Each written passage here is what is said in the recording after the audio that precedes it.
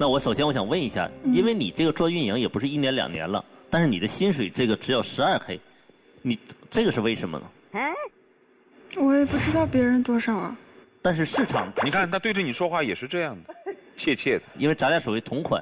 哎，你拉倒吧你！谁跟你同款呀？来，我们回来。那其实那那个那个呃，佳莹，你看，就是说，我们基本上就是，如果在做了九年左右的互联网相关的运营，至少的话得是二十 K 以上了。但是的话，你有没有去反？你有没有去跟市场上的一些做运营的人做过一些比较呢？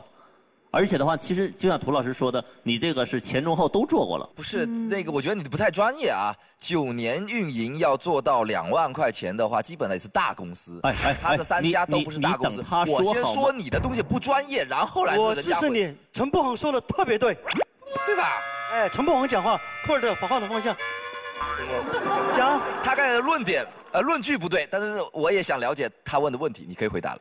嗯，呃，这个其实打个比方，有的人天生适合做将军，有的人天生适合做小兵，那有的人天生可能只适合做一个小组长。我明白，我现在达不到那个能力，就没有必要说是达不到那个能力，还是不想？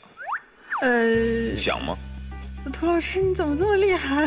不，刚才这个问题其实其实库尔特的问题是被陈不恒给截胡了，对对吧？对对但是呢，这个问题问出来，表面上是一个很平淡的问题，嗯但事实上问到了你的职场价值观。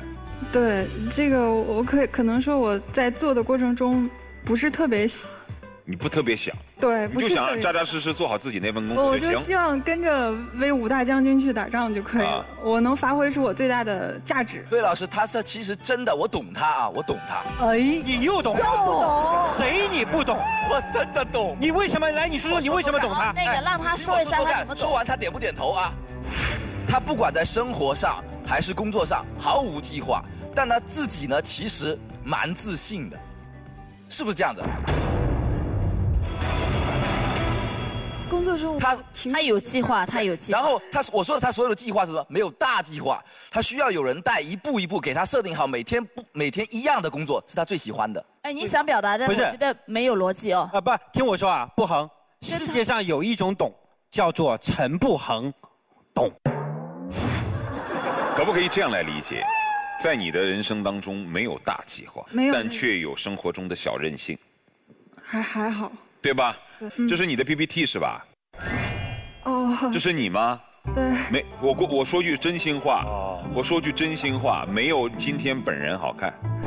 啊，这可是一百倍美颜以后的效果。两种美。对呀、那就是照片很好看像。林黛玉啊那张长度多像我觉得她戴眼镜还好看一点。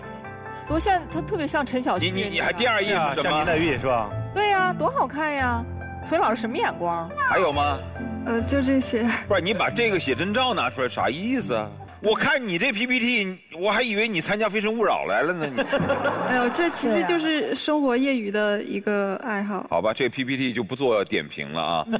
美颜，啊呃，就是有人这样评价你，评价你比较单纯或者简单吗？没有，他们怎么评价你？呃，我朋友评价我，工作中的伙伴评价我是雷厉风行。雷那在这里可能表现不出来，我是属于一个执行力相对比较强的一个员工。他还有一个奇葩要求，我刚刚才才看到，他对工作地点有要求，北京朝阳。他必须要在朝阳区吗？为什么？呃，你是朝阳群众我，一一直住在这边，就就你必须要在朝阳区呃，不是必须，别的地方可以吗？北京就可以。你要求薪资多少？呃，考虑到疫情，大家都不容易，就考虑到疫情，大家都不容易多少多少钱吗？呃十二 k 左右就可以。一万二。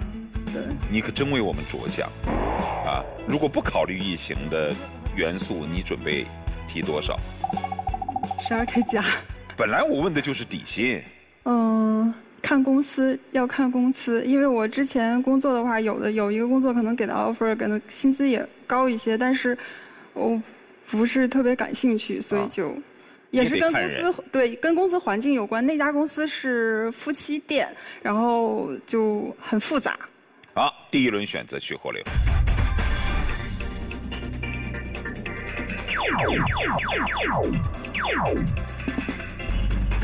还有四盏灯。